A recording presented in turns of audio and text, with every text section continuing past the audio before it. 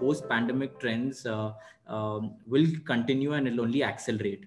Uh, uh, whether uh, I, am sure there will be two different schools of thought.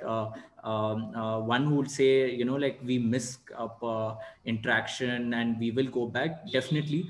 But hybrid culture is something that we every company will have to adopt, whether whether they like it or not. Uh, uh, that is the future about it and all the trends and all the uh, research paper clearly demonstrates that now, uh, uh, I believe like, uh, in a distributed workforce, there are three phases to actually achieve this. first part is actually organizations need to accept and adopt the hybrid working in post-pandemic environment. Uh, today, uh, uh, we are, it's not by choice, it's implemented by necessity. but the real question that comes is how quickly we can adopt adapt to it when it'll become a choice. Uh, and uh, and we need to start that implementation and acceptance and adoption phase today. Uh, as a CFO, I personally don't think this is a bad thing. Uh, I actually see this as an opportunity.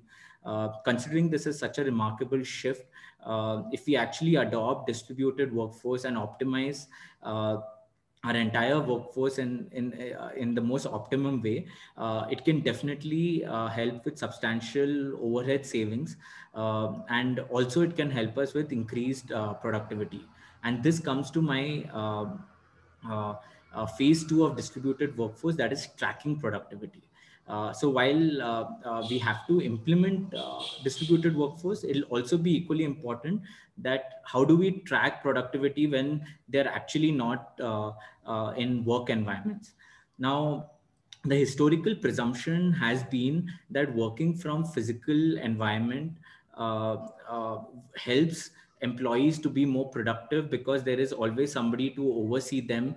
And because there's somebody to oversee them uh, they have no other choice but to be uh, productive i mean this was the notion pre covid uh, how we were uh, uh, working from offices uh, but clearly, post-COVID, uh, uh, this notion has been broken.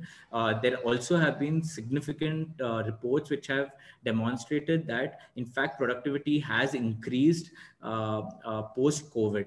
Uh, but fast forward uh, one year down the line, uh, you are noticing that there is a digital overload. Productivity has started reducing now. You're hearing uh, managers are frustrated because somebody didn't show up uh, on a Teams call or they didn't respond to messages uh, uh as quickly as they expected. Uh, uh, suddenly i feel there's a there's a trust deficit in the entire system because there's lack of human um, touch that was available before. Now now in these environments it becomes extremely important that how do we track them?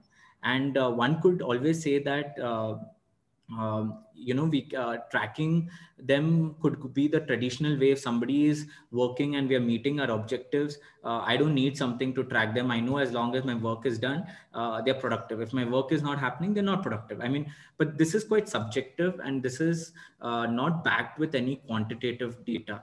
Uh, uh, even in those scenarios where managers are frustrated with people who are who they believe are not working how do we know that actually they're not productive that can only be uh, provided by uh, by quantitative data. And that requires us to uh, uh implement tools uh, in a distributed workforce environment that will provide us meaningful uh, data to take appropriate results.